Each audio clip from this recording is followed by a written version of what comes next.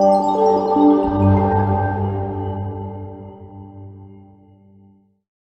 everyone. My name is Arthur Sainio. Thank you for taking time to watch this presentation today. The title of my presentation is The Future of Persistent Memory, DRAM, and SSD form factors aligned with new system architectures. So let's get started. Modern data workloads require real-time processing of large data sets resident in, in main memory for the highest performance. Memory capacity has not scaled compared to the number of CPU cores available in modern day servers. CPU core processing power has scaled beyond what can be supported with synchronous DDR memory as shown in the chart on the left. CPUs are pin limited now, continuously adding more pins to keep increasing the number of DDR channels to the CPUs and fully utilize the processing, processing power is not feasible. The number of DRAM and PCIe channels cannot be increased due to the high number of pins required to match the increase in CPU processing capability. The memory and I.O. bandwidth per core measured in gigabytes per second has been steadily dropping over the years, as shown on the chart on the right.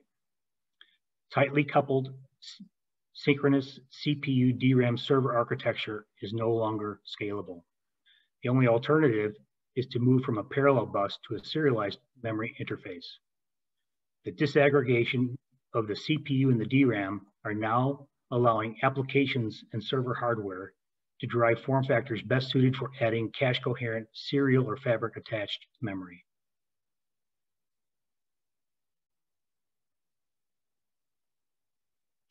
The options for memory expansion and system acceleration have expanded and are aligning with emergent serial and fabric attached architectures as shown in the diagram. For 2019, we see that memory is directly attached to the CPU. Now, in 2021 and 2022, we have new interfaces that add high-speed differential CPU attached options that are also cache coherent as shown by the dotted line. So we have CXL, CCIX, and others that we'll be discussing. Different types of memory, persistent memory, and storage can be added depending on the application needs and the server hardware. The C CXL, CCIX, and OpenCAPI interconnect standards allow more memory and persistent memory to be serially attached to the CPU to accommodate larger and larger data workload requirements. Lastly, we have fabric attached architectures such as Gen Z and CXL 2.0, which further expand the memory, persistent memory, storage, and other options. Systems will be aware of what type of memory or storage is available and how it is connected. Many new types of memory, storage, and acceleration products are possible. At a high level, this is a snapshot of the form factor migration. The current M.2 form factors shown on the top left have certain limitations. For example, limited scaling for power and thermals. There are also some performance capacity limitations since all the die cannot be activated at the same time. Another concern is that is that it's not hot pluggable. So this is not to say that the M.2 is being abandoned though. The E1.S EDSFF specification from SNIA has addressed those limitations as we will discuss. Similarly, the U.2 form factor on the, on the bottom left has also has some limitations. It has limited support and scalability for higher speeds. The E3, the E3 EDSFF form factor specifications enable better cooling than the U.2 and addresses scalability. The E1 and E3 form factor use cases are expanding and being adopted for DRAM memory, persistent memory, and other functions utilizing the new interconnect standards, as we'll discuss.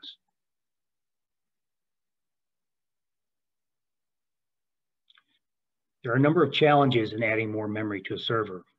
Let's take a look first at performance when comparing these form factors. The PCB real estate is saturated.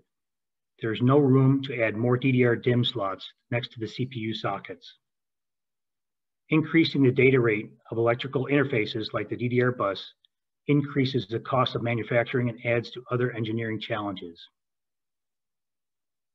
It is increasingly difficult to allocate more pins on the CPU sockets for DDR-like parallel interfaces, as was shown in the first slide. Therefore, the industry is moving towards attaching memory to a serial interfaces like the PCIe bus and the OMI interface. Let's compare the performance between a PCI interface and a DDR4 bus. In the current generation, on the first row, PCI Gen 4 x 16 interface on an E3.S device exceeds the performance of DDR4 at 3200. You can also achieve similar throughput by connecting multiple E1.S devices in parallel. In the future generations, on the second row, the PCIe Gen 5 based interfaces like E1.S with a BY8 and a 2C connector or the E3.S with a BY16 and a 4C connector will exceed DDR4 data rates and will be comparable to DDR5 throughput. So this demonstrates that memory connected through a serial interface can match and even surpass the performance of a DDR4 bus running at the highest speed. The increased number of channels associated with serial interfaces solves the bandwidth problem as we'll see in an upcoming slide. Another challenge is latency. High-speed access to memory and persistent memory is critical in transforming raw data into usable information. On the left are the DIMMs and NVDIMMs. They have the lowest latency, less than uh, 100 nanoseconds, and they typically provide up to hundreds of gigabytes of memory. In the middle are the serial attached form factor options, providing less than 350 nanoseconds of latency, with the exception of the differential DIMM, which is at about 40 nanoseconds. These solutions provide hundreds of gigabytes to terabytes of memory. On the right is the net, are the network attached Gen Z options and the CXL 2.0, the latency less than approximately 1000 nanoseconds and providing terabytes to petabytes of memory capacity.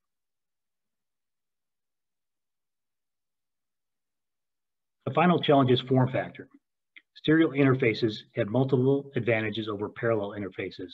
The biggest one is that serial interfaces have fewer pins than parallel interfaces like DDR4 or DDR5. This slide compares a, a 288-pin DDR4 DIMM connector with an E1.S EDSFF connector following the SNIA specification.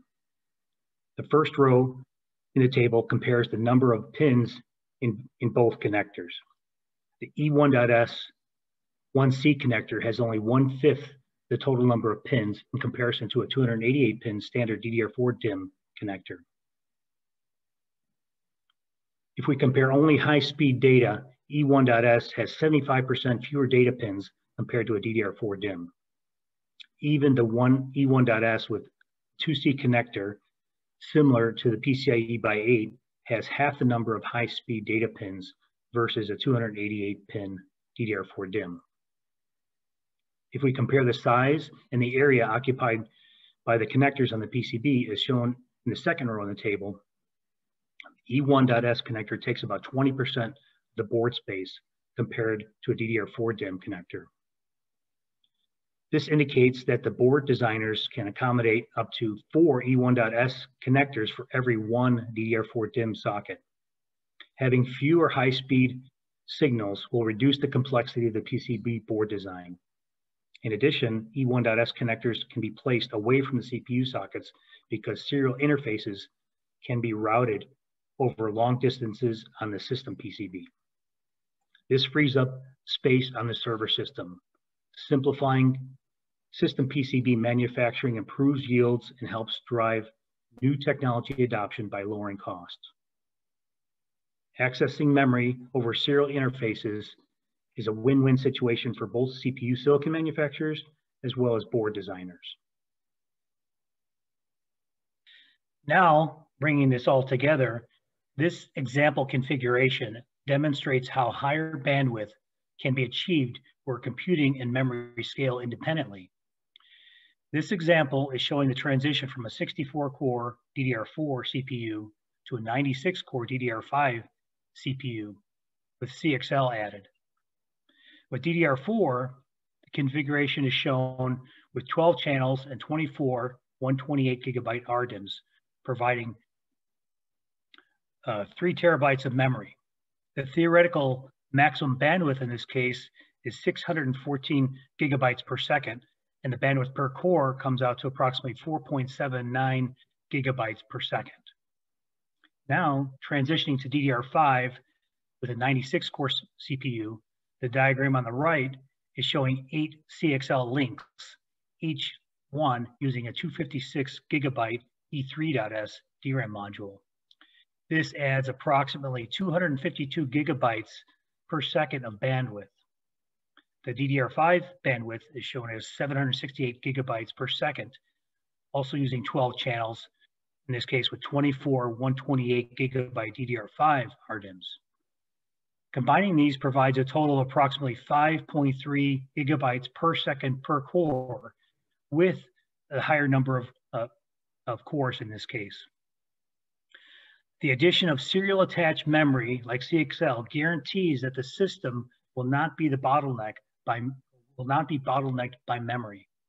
Bringing this back to the chart on the slide two, showing the memory and IO bandwidth, that it shows that this bottleneck has, has been eliminated a significant performance improvement. Serial attached serial interfaces such as CXL enable the flexibility to add a variety of memory types without impacting standard DIMMs. Many logical links can be supported depending on the needed bandwidth. Note that the data here are theoretically calculated uh, based on DDIMM system performance. All right, the next few slides provide a more detailed profile of the different form factor options. The first one is the E1.S, typically for memory acceleration, and the E1.L for memory expansion. These are targeted for use in 1U servers. The table summarizes the host interface, the memory capacity, the protocols that can, that can be used, and the power profiles. There are multiple profiles ranging from 12 volts, uh, 12 volts, 16 volts, 20 volts, excuse me, watts, and 25 watts. The E1 modules are completely bus powered with 12 volts as the main supply and 3.3 volts as the auxiliary supply. As you can see from the picture, many E1.S or E1.L modules can fit into the front of a 1U server and provide cache, a cache coherent connection to the CPU.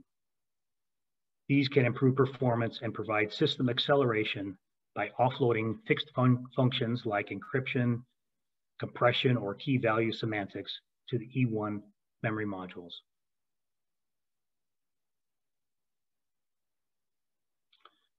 Okay, next moving to the E3.S and E3.L. These are used primarily for memory expansion in 2U and larger servers.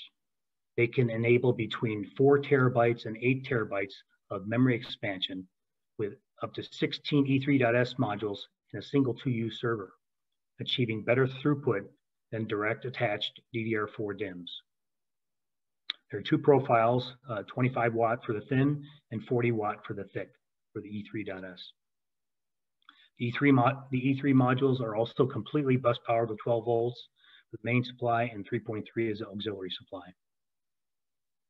Note that the uh, E3 form factor is an ideal candidate to add the non-volatile persistent memory feature, very similar to N NVDIMMs, and we'll talk a little bit more about that.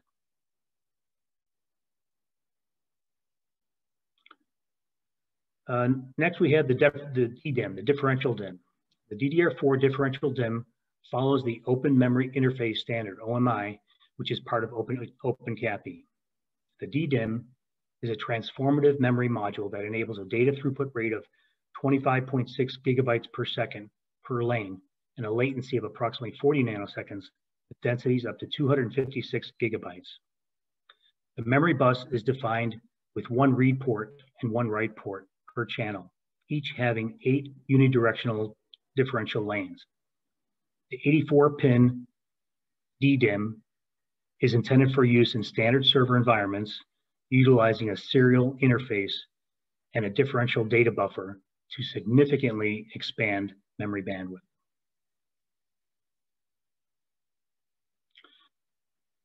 Then we have the NVDIMM. The NVDIMMs have been the enabling modules helping to drive the adoption of, of persistent memory. NVDIMMs operate the same as registered DIMMs and add high-speed, byte-addressable persistence into main memory. NVDIMMs are used in all-flash arrays, storage servers, high-performance computing platforms, and AI training servers.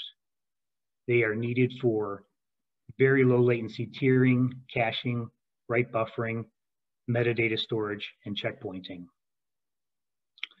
NVDIMMs are also used for AI and machine learning algorithm processing, which accelerates performance by not having to move the algorithms to flash while they're being developed. NVDIMMs are JEDEC standard modules. Specification development is currently underway for DDR5 JEDEC standard NVDIMMs. This provides yet another persistent memory form factor option going forward.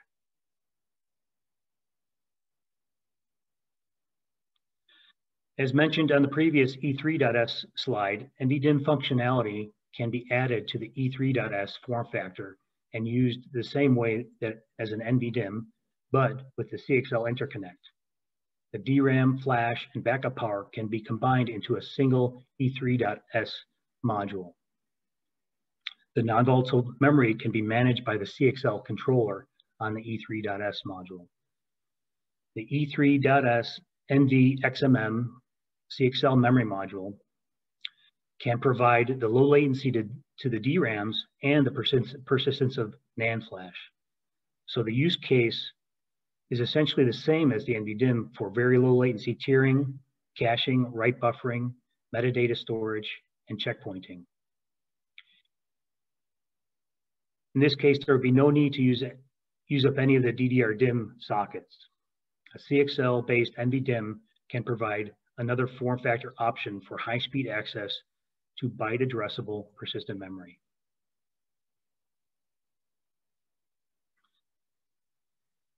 So to wrap up, the industry leaders have worked together to standardize EDSFF form factors, which are being adopted for serial attached DRAM memory, persistent memory, and other function, functions using the new interconnect standards. It will now be possible to achieve approximately 7.4 gigabytes per second per core of bandwidth, as an example, with the combination of parallel and serial attached memory. Just one note here that the new form factors do not follow the same process as JEDEC standard DRAM modules with common PCB designs, with the exception of the VDIMM.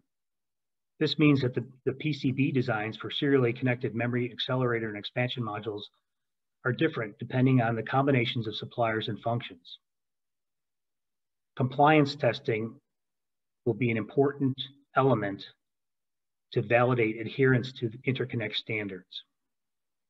Serial attached cache coherent memory, persistent memory form factors are adding bandwidth, the needed bandwidth necessary to process large data sets. They improve scalability, serviceability, and modularize the introduction of new technologies.